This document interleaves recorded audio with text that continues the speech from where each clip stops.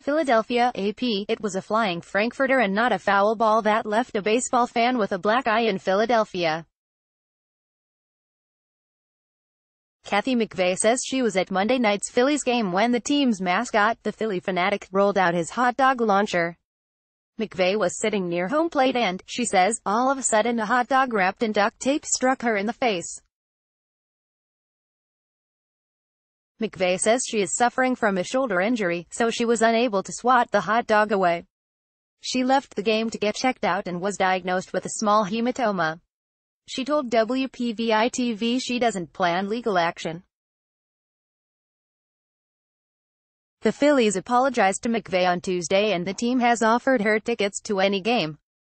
The Philadelphia Phillies mascot the Phillie Phanatic shoots a Hatfield hot dog into the stands during the game at Citizens Bank Park on July 10, 2013 in Philadelphia, Pennsylvania. Photo by Brian Garfinkel. Getty Images. What others are clicking on. Greater than greater than more stories. Copyright 2018 Nexstar Broadcasting, Inc. All rights reserved. This material may not be published, broadcast, rewritten, or redistributed.